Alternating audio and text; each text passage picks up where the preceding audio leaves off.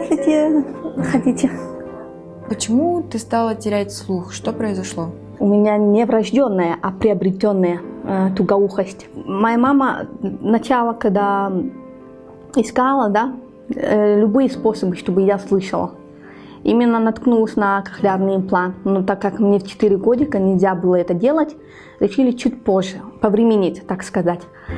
Вот, в 4 годика я потеряла слух. Так как э, я потеряла слух, у меня даже и речь пропала. Я не могла нормально разговаривать, у меня какая-то невнятная была речь. И вот а, настал момент, когда уже делают мне операцию в 8 лет. После этого, как установили мне кохлеарный имплант, я как бы начала слышать, но было также невнятно, да, потому что это непривычно для меня. Звук какой-то другой совсем, странный, можно сказать. Поэтому после этого я должна была проходить реабилитацию, чтобы я могла привыкнуть к этому звуку. Постепенно-постепенно, из года в год, я начала уже м, разговаривать, уже, можно сказать, получше.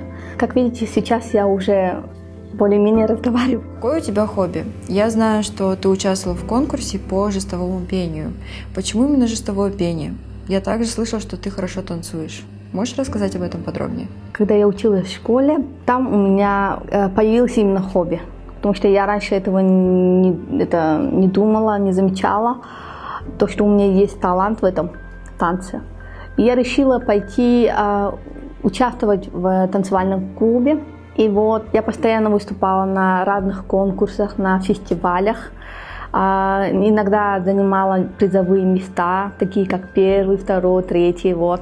А, в Инстаграме один певец а, закинул свое пение, да, конкурс, кто будет лучше петь, и на этом могут снять клип. И мне тоже хотелось участвовать, но так как у меня голоса нет и были проблемы со слухами, я подумала, а как бы не спеть именно на жестовом языке, потому что еще этого никто не пел. Когда я начала петь и выложила в Инстаграм, а, это заметил тоже певец, который а, выставил конкурс. И он, ему очень понравилось. Он меня именно выбрал из всех а, представителей и решил так сделать, что будут два а, участника в его клипе. Он меня выбрал и там одну девушку, которая будет голосом петь, а я буду просто переводить на жестовом языке. С этого и начиналась моя эта, карьера, можно так сказать, примерно.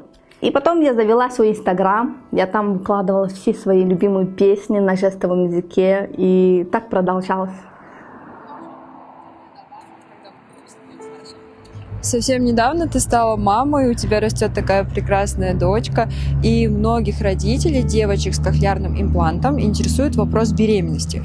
Существует такой миф, что девочкам с кохлеарным имплантом нельзя рожать. Расскажи, пожалуйста, про свою беременность, как она проходила, как проходили роды. Родителям девочки, у которых кохлеарный имплант, что это вообще не запрещено рожать. Просто мы не слышим, и это никак не влияет на организм. Мы можем иметь детей, можем рожать, и все будет хорошо. Снимала ли ты имплант во время родов, э, или он, наоборот, тебе помог? Как к тебе отнеслись врачи? Ну, во-первых, беременность у меня протекала вообще хорошо. Можно сказать, прекрасно. Я ничего не чувствовала, ни токсикоза, никаких тяжестей не было у меня. Все идеально протекала беременность. А роды тоже протекали нормально. Я не снимала аппарат я с ними же рожала. Потому что это все равно необходимость, надо будет врачей слушать внимательно, когда нужно тужиться, а когда нельзя. Вот. Я очень внимательно слушала врачей. Они понимают, что я не слышу, и мне надо как-то э, объяснять громко. Обязательно громко, потому что если тихо, я вообще ничего не слышу.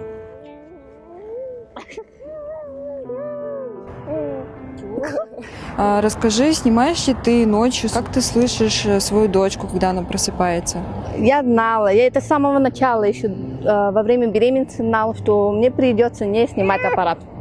Так как А, плач ребенка нужно будет услышать любое время, даже ночью. Я как ее родила, так уже сразу перестала снимать лучевой процессор и с ним спала. Но самое единственное, что а, только я в душ хожу и снимаю лучевой процессор, а в остальные дни я только ношу. А, вопрос, как а, я слышу, когда она плачет ночью, я очень прекрасно слышу. И это еще а, не подводит меня материнский инстинкт. Я чувствую, что ребенок плачет, или не знаю, как-то у меня это заложено во мне. Какие рекомендации ты дашь родителям, девочкам э, с кохлеарным имплантом? Ведь у них все впереди еще. Хочу им сказать, чтобы они не боялись этого, а, потому что мы, как и все люди, обычные люди, а, можем рожать, можем, ну, все что угодно делать. Главное не бояться этого и идти вперед. Если есть желание это, то пусть это сбудется обязательно.